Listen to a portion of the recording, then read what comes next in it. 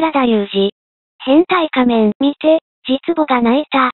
義妹、松本明子と、初ロケで発覚、息子が裸芸。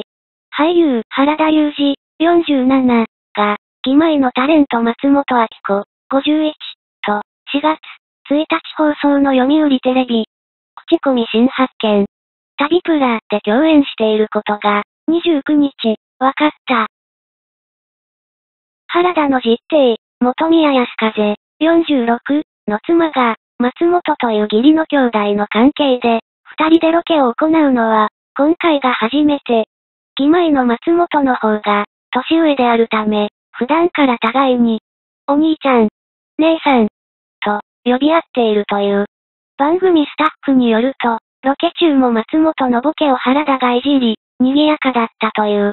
松本は原田の実母と、同居しており、原田が、変態仮面の裸芸を繰り出した年末番組を家族で見ていたという。原田の出演を知らなかった実母が、衝撃を受けて泣いてしまったことも明らかになったという。番組は、二人が香川県小豆島へ。